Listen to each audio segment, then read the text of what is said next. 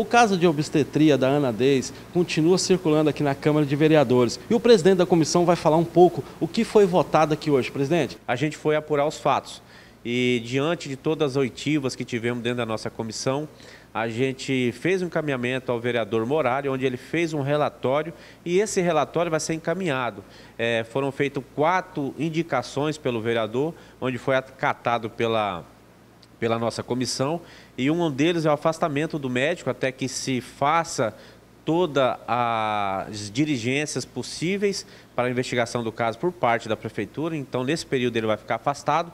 O outro foi que a secretária municipal adeque a sala onde tem a espera, onde possa a parturiante ter o seu acompanhante também foi encaminhado que o nosso relatório, as nossas oitivas, sejam todas encaminhadas para o Ministério Público, para o CREMERO e também para a Delegacia de Polícia, e a última aqui foi o trabalho de sindicância, que seja apurado todos os fatos. A gente vai acompanhar e vai ter um dos vereadores nesse, nesse trabalho de sindicância, nessa comissão, para que a gente veja, veja se realmente está sendo feito o trabalho da maneira que tem que ser feito. O que nós não podemos deixar é esse maltrato continuar no nosso município e na hora que mais as, as grávidas precisam, não ter ali acompanhamento do seu ente, das pessoas que dão força durante todo esse tempo e na hora de ganhar o nenê são afastados. Isso não pode mais acontecer no nosso município e o tipo de atitude do médico que é reprovável a maneira que está sendo tratando as pessoas do nosso município. O afastamento temporário do, do médico que está sendo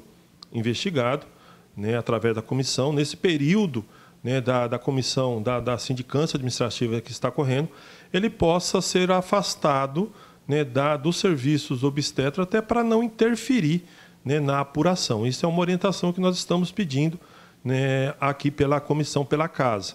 Né, também o um encaminhamento ao CRM, ao Ministério Público e à Polícia Civil com relação a, ao que foi apurado, né, também a solicitação de acompanhamento dentro é, da administração pública da sindicância né, e depois a divulgação do relatório final com a conclusão.